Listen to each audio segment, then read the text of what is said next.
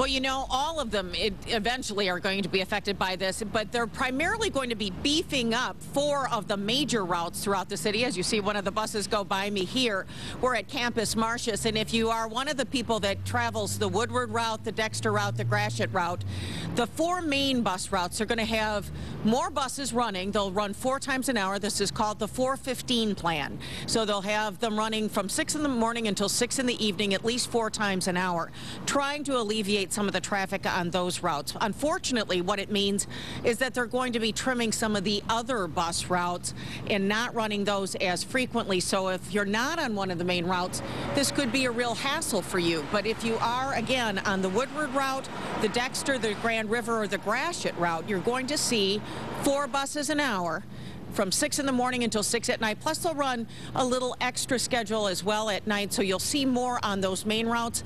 But it's going to be curtailing bus service on some of the less used routes, so it could be a problem for people that rely on those routes. But at least if you're on one of the busiest ones, you will see more buses. You should have more room.